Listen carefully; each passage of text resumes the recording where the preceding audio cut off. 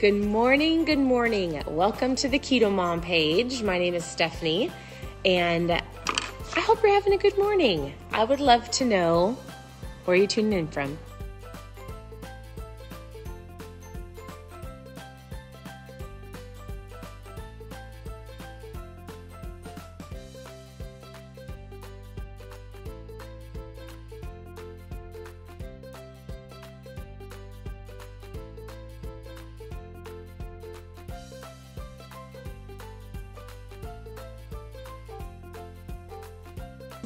Now I have to do it again. in proper place in Annie's in a boat. She's pretending she's in a boat. Dogs are hanging out and working on some math. Right.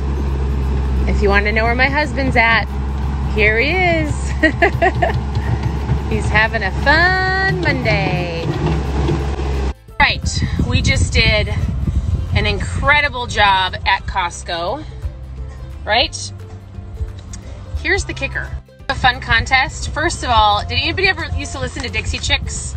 I introduced my kids to Dixie Chicks. Well, they're not called Dixie Chicks anymore. They're called the Chicks. Right? Mm-hmm. Anyways, there's a funny song that they're listening to. Can you hear it? Anyways, here's the fun part. We went to Costco, spent a whole lot of money, but I'm going to show you something that's so fun. So we've moved a lot in the last few years. Well, once, you know, we haven't been able to travel. So Costco, I guess, has been sending us checks and we haven't been getting them. So the lady's like, I owe you money. And I was like, oh, okay. Because for some reason you moved too much. And they just handed me a wad of cash.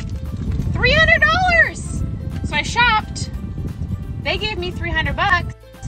And I've got a fun contest coming, so check out the Keto Mom page to possibly win some mom fuel. Question was asked Why did Costco pay you $300? If you have a certain membership, I think they pay you a certain percentage back at the end of the year. And I just got $300.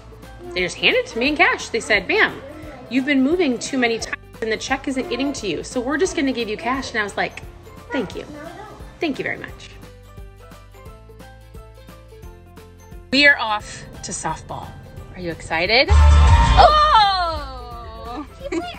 We have an extra friend with us, and this is how we are dressed. This is how Minnesota spring works. I have a pair of jeans, Steve sweatpants, a tank top, a t shirt, two sweatshirts, just in case I get cold.